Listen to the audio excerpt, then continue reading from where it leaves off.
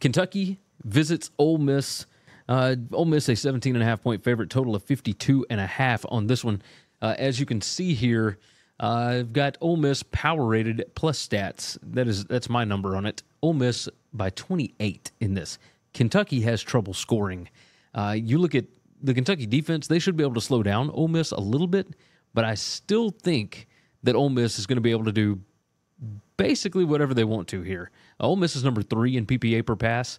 Kentucky's defense is number 50 on this. So eh, there's still a, a significant advantage for Ole Miss. Uh, and then on the other side, that Kentucky offense, number 117 PPA per pass, number 79 PPA per rush. When you look at what they're doing when they get down into uh, uh, the opponent's 40, which is a, a scoring opportunity inside the opponent's 40, Kentucky is number 90 at getting inside the opponent's 40.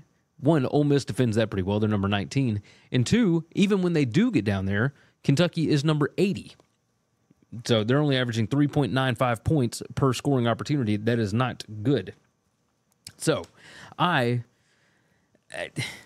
I mean, you, you almost have to take this. Uh, I was looking to see if I could find a better number. I cannot at the moment. Uh, so I'm going to take Ole Miss minus the 17 and a half. Uh, and I feel pretty good about it. Ole Miss, number 10 and five factors plus talent rank. I mean, they are just, they're fantastic. So Ole Miss has, uh, now granted, their strength of schedule is garbage, and Kentucky has played Georgia thus far, but Ole Miss has got the talent. I feel good about this. So give me, give me Ole Miss.